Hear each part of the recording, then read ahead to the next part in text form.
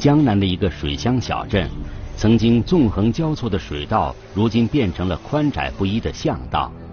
二零一六年一月二十五日，民警来到了小巷深处的一户人家。报警的内容是在临湖的徐家弄那里，啊，有人入室抢劫。现场是一个老式的居民住宅。本次执法全程录音录像。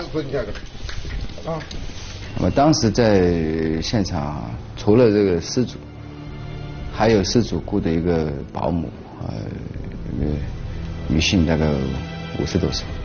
啊，是的，是的是。那我先报警，开开开门上去，把找非法太太。你呢？没想。跟你呢？跟你呢？跟你报了啦？跟你报了，报了日子啦？保姆陈述说被几个人抢了，家里的东西丢了。在保姆哭哭啼啼的陈述中，民警得知，当天上午只有保姆一人在家。雇主陆阿姨外出买菜，回家到楼下时，听到家中传出哭声。她发现那个门是锁的，然后用钥匙开门进入到屋内。进入屋内之后呢，看到那个保姆在中间，他们家厨房，呃，厨房和客厅之间，呃，有一个呃餐桌，餐桌的角上被绑在那边，用绳子反绑，然后呢，用一块围巾啊裹在头脸部，那么裹着。陆阿姨说，是她解开了捆绑保姆的绳子，并报了警。他给我们反映的就是一直在重复一些简单的案件事实。哎呀，我被绑了呀之类的啊，绑了，然后他们两个人呃进来把东西抢了呀，就这么一些简单的过程，在一直重复。由于保姆处于惊吓中，一直没有缓过神来，他讲述的案件过程也是时断时续，民警只能极力安抚。几个人？一个，两个人，一个买衣服开口，呃，不想，嗯，那那么个问这个，呃，你家那个漏水去没有？让他干嘛搞搞下个？呃，那么那个这个有用不嘛，那么里边。卫生纸里。卫生纸在这车里。是啦，那打雷了。那打那打雷，俺好了没办？啊。那么个干嘛跑到好了么个？根本你里边去看一下看的。那么跑到好了呢？跑到好了那些个当他嘴巴毛不完，你不要出声那么那个哪个不到？我木想阿乱木想个不到当旮旯头这样的的。到那那小宝经理的，小宝经理的好了。还还杀死你！吓死他的。你们菩萨的菩萨的，你们不懂不懂，你们这个呃前头这个外头人外头人是拉到就是个。这个人看见的阿郎人的帮作业，那么那比如像当帮补帮补嘛，这个后头这个这个他他已经差不多这个当嘴不当别个的。你问他一些细节，那是怎么抢的呀？是是谁呀？啊，呃，那些呃衣着特征啊，几点进来的呀？怎么绑你的呀？说了什么话呀？长什么样啊？这些这些特征你去问他呢，一开始他都是回避或者是不说。哎呀，我害怕呀，他说。我害怕呀，我回答不了呀，我不知道呀，我现在怕死了，我现在还在抖啊，这样这个状态。而此时，陆阿姨的心情更是难以平静。他对我说的，呃，你这呃不好嘞，你你抽屉里面这个，你锁着的这个，我锁着的这个抽屉，他说里面的东西都偷光了，他说，他对我说的。那么我这样子望过去看嘛，哟，真的不得了嘞。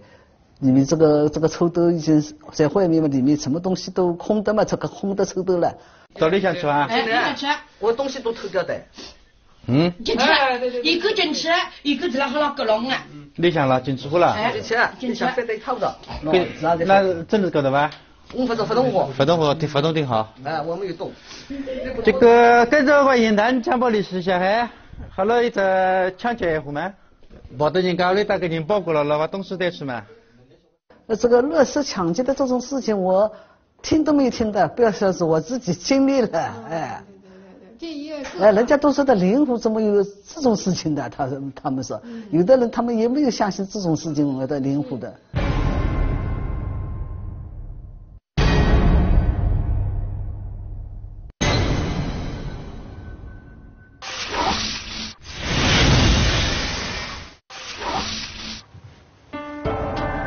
经过清点，陆阿姨说，家里只有一个她平时存放贵重物品的抽屉被撬开了，里面有现金、玉器和一些金饰，价值三万多元。被撬开的这个抽屉也是陆阿姨家唯一一个上了锁的抽屉。据保姆说，当天早上陆阿姨外出去买菜，她一个人在家中打扫。大约过了半个小时，有人来敲门，说是修热水器的。保姆没有多想，就打开了房门。谁知对方叫来了同伙，把她绑在了桌子腿上。突然遭遇到这样的变故，保姆吓坏了。在警方到来之后，保姆积攒的情绪宣泄了出来。警方只能从她反复的哭诉中分析案件的大概情况。那么，保姆口中的两个维修工人到底是谁？他们去了哪里？聚焦一线，直击现场。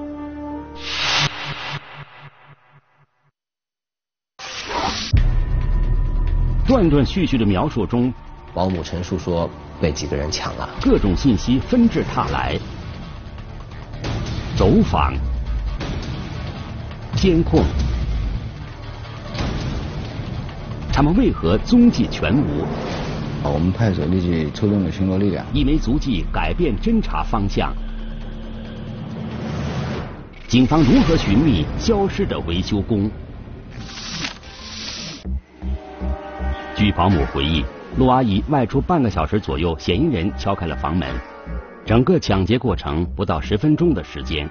等陆阿姨回到家报警，警方到达现场，距离案发应该不到一个小时的时间。把所有的出灵湖镇的呃卡点啊全部设起来，呃，针对这辆类似的这个特征的人员进行设卡。啊，我们派出所立即出动了巡逻力量。在我们灵湖镇的这个主要的路口，都设置了巡逻盘查人员。之后呢，我们第一时间想想通过设卡的方式啊，让这个嫌疑人不逃出我们这个灵湖这个辖区。与此同时，警方将保姆带回派出所，极力安抚，希望保姆能够提供更加详细的案件情况。起先敲门的是一嗯一名男子，那根据保姆的描述，的是脸上都是胡子啊，个子大概有。一米八左右，然后背了个工具包。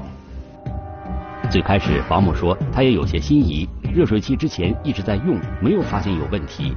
但是对方声称已经跟房主联系过，他才打开了房门。本身这房子比较小，是老房子，在北面的房间看了一下以后，到了客厅，啊，于是又到南面房间看了一下，看了一下。进来之后呢，查看了一下，就打了一个电话说。呃，然后下面又上来一个人，应该是同伙。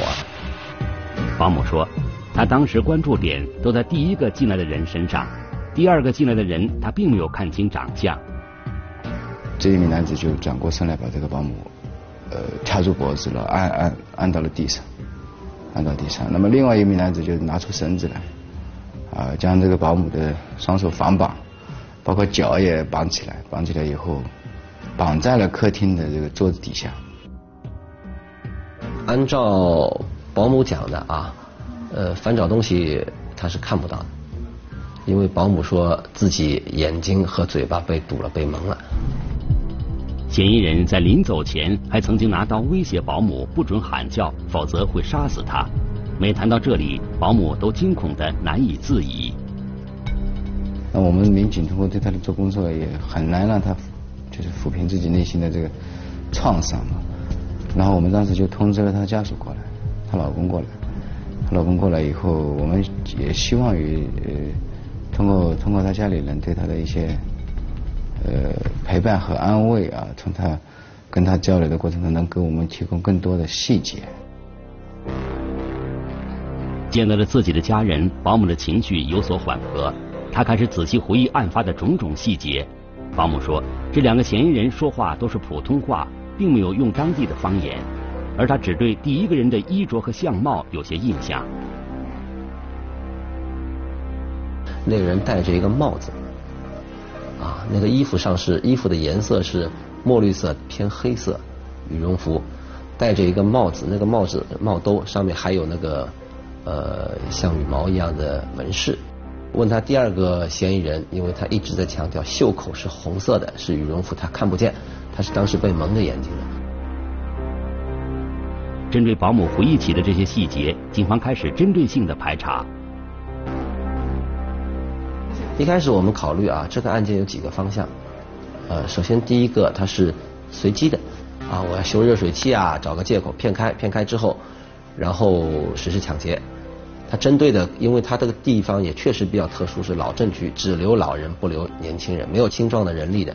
第二种情况呢，因为我们那个陆女士家啊，虽然住在老区，年纪也大了，但是呢，他们的家庭情况在当地应该算不错。那么是不是有可能确实是盯着陆女士家啊，然后有针对性的一个抢劫案？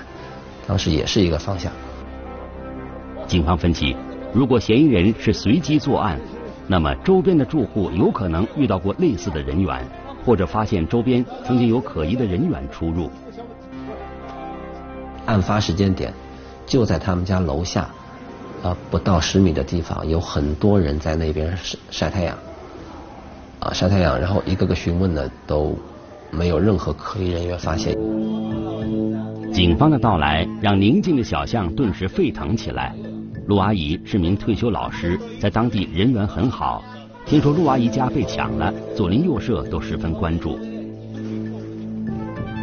啊，因为陆氏抢劫案件本身这个这个案件性质就比较恶劣，那作案时间选择在上午，呃，又是以这种修这个电器为名啊，陆进行陆氏的一个抢劫，对被害人实施捆绑。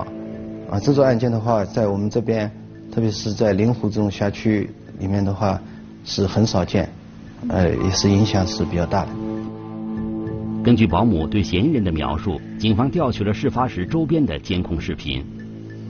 最近的监控二十米吧，可惜的是方向不朝他们家，因为他们家正好处在一个呃三岔口一样的弄堂三岔口一样的位置，只能排查一方面来人的那个情况啊，并不能全面覆盖到他们进入他们家那里那个区域的那些人。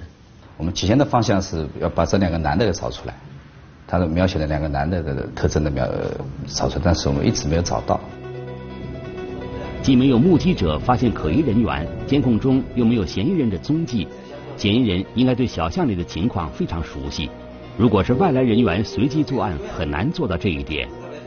难道真的如警方所料，嫌疑人是针对陆阿姨一家实施的抢劫？因为呃，劫匪他趁房东出去的时候进来啊，似乎这个劫匪对这个家里面挺熟悉。嫌疑人很可能躲避了周边的人员和监控，警方决定扩大监控查找的范围，重点侦查保姆行动的可疑人员。弄堂有一个好处，除非你是那边那边的人，门对门、户对户的去串，否则弄堂啊，只要是外来的。那肯定没地儿躲。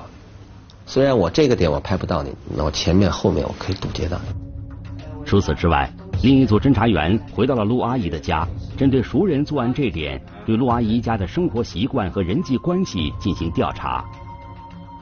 他们的关系呢非常单纯啊，每天的这个活动，呃起居起居的一个时间，活动的活动的一些场所，相对还是比较固定。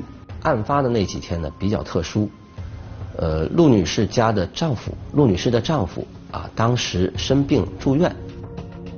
此外，陆阿姨说自己的丈夫第二天就要出院了，只有这几天是自己和保姆在家。嫌疑人选择这个敏感的时间段作案，更是增加了熟人作案的可能性，并且现场勘查也印证了有可能是熟人作案。被抢的这个存放金库的是一个。是一个书桌的其中一个抽屉，在抽屉上面有明显的撬痕，但是在这个房子其他的部位，嗯，我们并没有发现比较明显的翻动痕迹。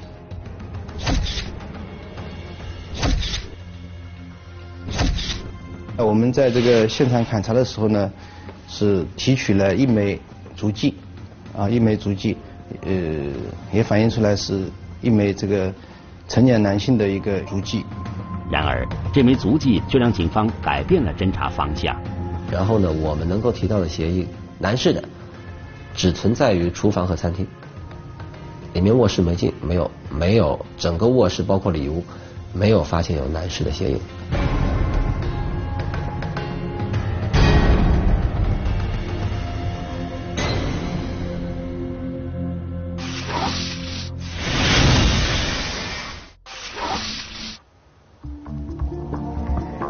这枚足迹，让警方对之前的侦查方向产生了怀疑。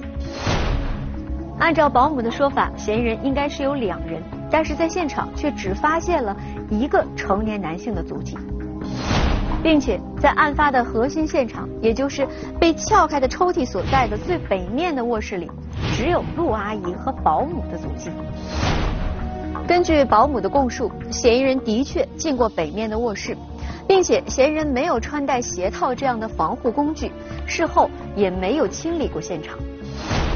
那么，卧室里并没有外人的足迹，这该如何解释？难道说保姆在撒谎？现在，保姆这个事发时唯一在现场的人，同时也是雇主陆阿姨的熟人，她的嫌疑。不言而喻。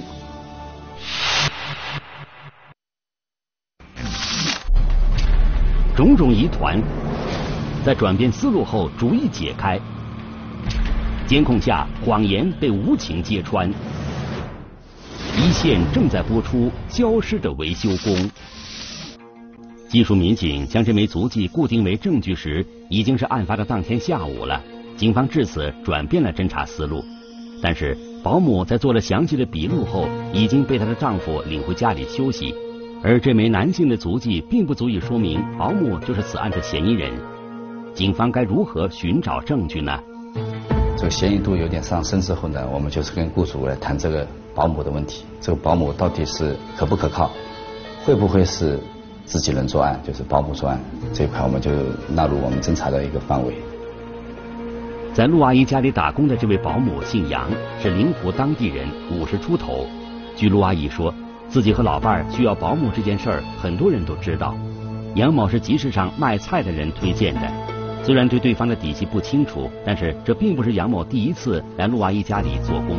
此次来陆阿姨家做保姆已经有半个多月的时间了。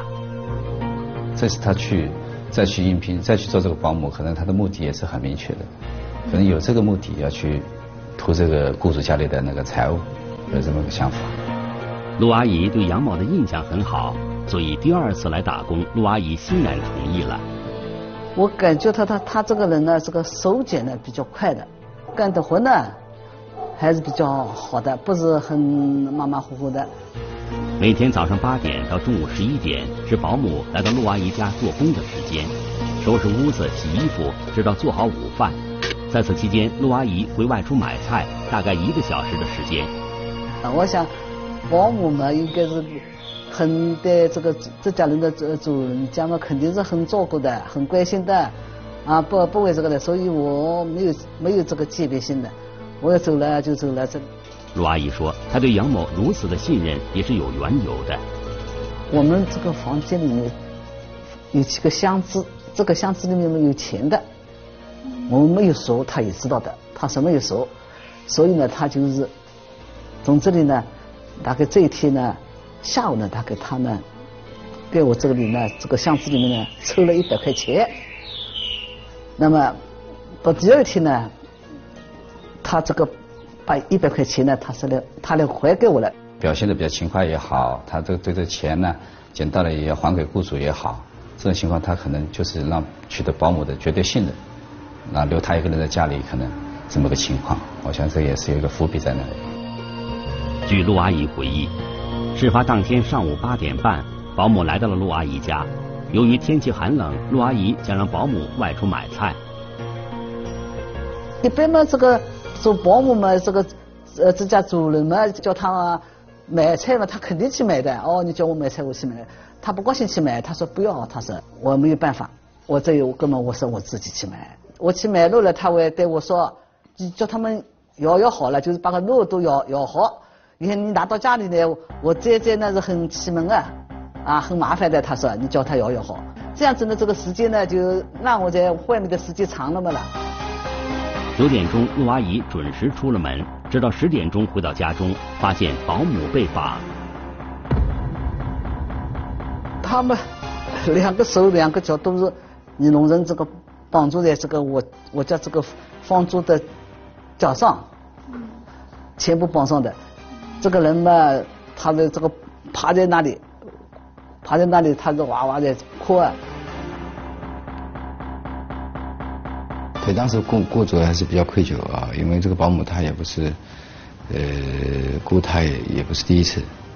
那么在他家发生这样的事情，呃，他认为是，呃，那保姆这样也受到了人家的伤害，啊，呃，自己的自己家里的这点金货损失倒是小事情啊，但是他觉得也挺对保姆这这个受到伤害这个事情啊，挺过意不去。在现场勘查时，警方还曾经发现另外一个细节：捆绑保姆的绳子是一根绿色的尼龙绳。陆阿姨说：“这个绳子并不是自己家里的。那当时那个绳子绑她绑的不结实吗？绑到呃不是很急的，反正我这一夹就夹开了嘛。我们本来勘察的时候也需要对那个绳子的绳结部分进行保留的，但是呢找不到，因为是那个是活结，被一扯就扯开了。啊，那么我们就考虑这个，如果是案犯的话，当时如果为了防止你反抗，一般是不太会用活结的。”除此之外，做笔录时，保姆说自己曾经在陆阿姨外出前，当着陆阿姨的面打过一个电话。但是当民警和陆阿姨核实时，陆阿姨否定了这种说法。因为这个电话呢，我们后来我们在侦查的时候发现，这个电话是打给她的老公。这个时间段应该是在那个雇主出门买菜之后，她打了这个电话。她可能心里也在想了，如果不是当她面打的话嘛，可能她的嫌疑会更大了。如果当她面打的话，讲了什么话、什么东西，他们把把自己的嫌疑给洗脱了。此外，对于陆阿姨保存贵重物品的柜子，以及陆阿姨的爱人第二天就要出院这些信息，保姆都是非常清楚的。到那个时候，我们基本上可以断定，这个事情应该是一个自编自导自演，应该是一个谎言。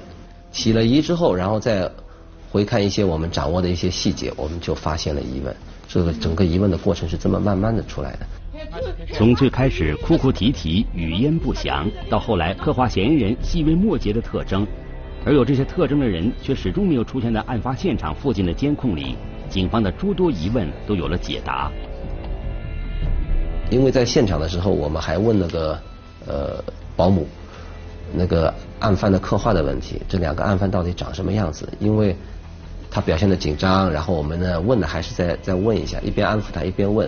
所以当那个我们呃刑刑大一些勘查人员到了现场之后，他好像突然来灵感了，就就指着我们一个勘查人员，勘查的专家说，就跟这个人长得差不多啊。然后这个呢印象呢是事后看来应该是就地取材。保姆在说谎，两个修热水器的闯入者并不存在，他一定没有预料到警方的问询会如此细致。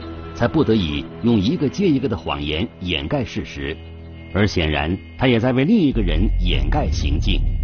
比方说，呃，他既然真的是被绑了，他一个人我们估计他是完成不了，应该有有人协助。那那个协助的人会是谁？然后我们分析来分析去，他的关系人我们去梳理去打听，最后我们发现最有可能的是他那个现任的丈夫。据民警回忆。当天上午，带保姆回到派出所后，为了平复保姆情绪，他们曾经询问过保姆的丈夫的一些情况。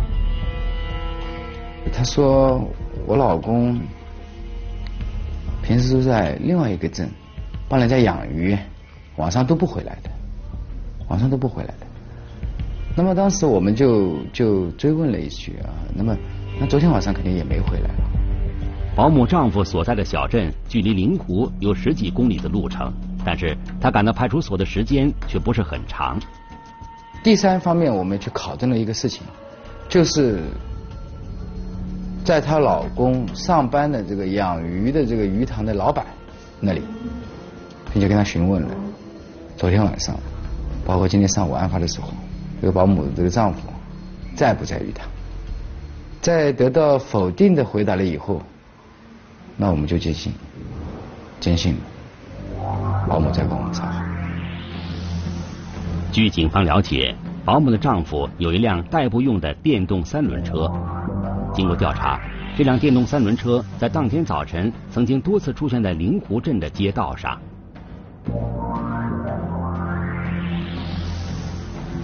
而最终，在陆阿姨家附近的监控里，警方发现了保姆丈夫的身影。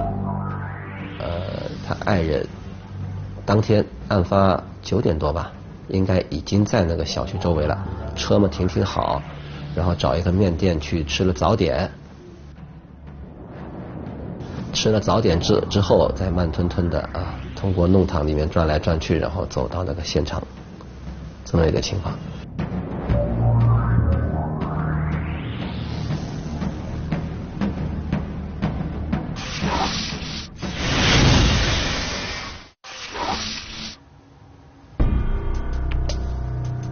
前，警方掌握的信息有：当天上午保姆的丈夫刘某的活动轨迹，以及保姆和她丈夫刘某的通话记录和案发现场的足迹指纹。综合这些线索，警方现在已经能够认定保姆以及她的丈夫刘某是此案的最大嫌疑人。根据警方了解，保姆杨某在家经营着一个小型的鱼塘，每天外出打两份零工，一个月收入两千多元钱。而保姆的丈夫刘某，他帮别人看管鱼塘，每个月也有三四千元的收入。这个家庭虽然算不上富裕，但是在当地生活应该是有所盈余。那他们为何要上演这样一出闹剧？当得知这一切时，事主骆阿姨惊讶的不敢相信，她一直善待、信任的人，怎么会做出这样的事情？一场自导自演的闹剧如此收场，应该是一个自编自导，是一个谎言。他的结局是否只能悲情落幕？一线继续播出消失的维修工。案发当晚，警方将保姆杨某和她的丈夫抓捕归案。他的表现还是蛮镇定的，非常镇定。但是呢，这个镇定有违常理。啊，一般如果大半夜的你去找他，公安上没什么事情，你去找他，把他请回局子里，啊，所里去跟他谈话，逆反心理肯定有，不舒服的情绪肯定有，嚷嚷几句肯定有。他很顺从，啊，好像预感到要发生什么事情一样。在杨某家中，警方找到了她丈夫穿着一双与现场足迹吻合的雨靴，以及那辆在现场附近出现过的三轮电动车。在证据面前，两人交代了犯罪事实。我如果出狱的时候，我肯定到陆老师家去，还要比你到前见的。杨某交代，整个事件都是由他主导的。案发的前几天，杨某家里迎来了几位不速之客。有四个人来背我的账，他说你把钱要还，还不还的话，今年过年不要你过过，哇！后来他说，我说我真的。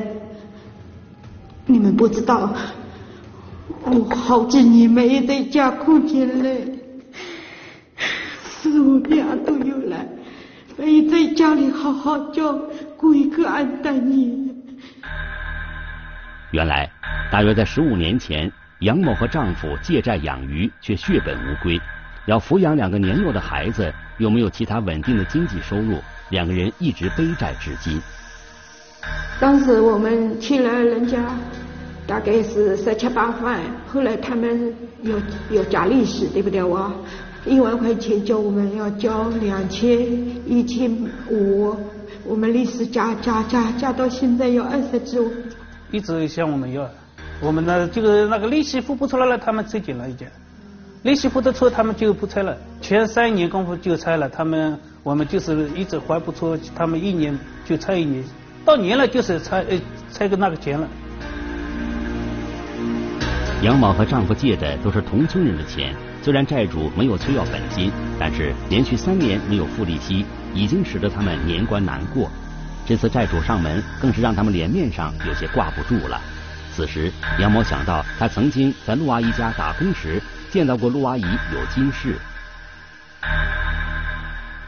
和我就是这么想。陆老师家有钱啊，嗯，他们有没有个金火啊，对吧？我这个可以抵账，就是我就是想到那个金火，他把秋都锁着，肯定有金火，把自己我自己的项链一样，起家做人家，以后就是有钱了就收回来，或者是还人家。这个这个保姆提出来说要说要这样干的时候呢，她老公实际上是很反对的。因为这个犯法的，他就是跟我说，这是犯法也冒这个险了，没办法了，他做。她就威胁她老公啊，威胁她丈夫，你不去我就去死。在得知陆阿姨爱人即将出院的消息后，杨某认为这是最后的时机了。做了一个号头，从来没过车。我说，呃，今天天好了，太阳有了，你自己去买吧。我就是想要这个事情呢，想走了以后，我就是给我给他打电话了。他说我不高兴过来，你不高兴过来，我不高兴过来，我死掉嘛好了。罗阿姨出门后，杨某直接来到卧室。用事先准备好的工具撬开了唯一上锁的抽屉，东西我还没开到，我主要是有个盒子我就拿，有个东西就是拿，有一个总是有有有一包一包的总是拿。到了他来了，我已经弄好了，弄好了的我就是叫他给秋豆看一下，他把他叫叫他他敲一下，敲一下后后他说那个东西还给他们好了，不要了。我说以后就是好了，就是我们呃或者过个两年三年呃还掉了，这里还人家也不要紧的。按照事先的计划，杨某让她的丈夫将自己绑在餐桌椅上，估计着陆阿姨快到家的时间，她放声大哭。他在这个他绑不该绑，就是他他我说给我给我，他的这个结没有呃放好，就是这样尿尿尿好了，我自己要松得开的，就是把他这样尿起来的，没有打结。卢阿姨报警后，警方的到来的确让杨某有些害怕，她担心自己说漏嘴，在很多细节问题上一直不敢说清楚，直到在派出所里看到丈夫，她心里暗喜。自己演的这场戏已经骗过警察，没想到当天晚上就被抓获了。我们还想找出他那个东西在哪里。那都说呃捉贼拿赃嘛，这是最完美的结果嘛。那最后他他当然交代了啊，被他藏在鱼塘外的一个野地里，一个非常隐秘的地方，在养鱼的地方边上，鱼塘边上有一段废弃的一些管道，塞在里面。如今在看守所里。除了对陆阿姨的愧疚，杨某还一直担心一件事。在陈述问题的时候，他非常担心的一个事情是：好了，这个事情出了以后，我跟我现在的爱人，啊，就是跟他一起合作的同案犯，可能感情也走到头了。杨某说自己比丈夫大了七岁，这段婚姻已经维持了二十多年，但是却一直没有得到丈夫家人的认可。再加上这次逼迫丈夫做出了违法的事情。丈夫和他的家人肯定不会原谅自己。他不要我，我也要同意；他给我离婚，我也要签字。我肯定签下去的啊！我自己做错了就好了，我对不起他，对不起我两个女儿。我自己知道错了。因为家中尚有未成年的女儿需要照顾，也鉴于刘某是从犯，认罪态度良好，他被取保候审。我错就是错在这里，就是没有拦住他。如果拦住他了，就是没有这个事情了。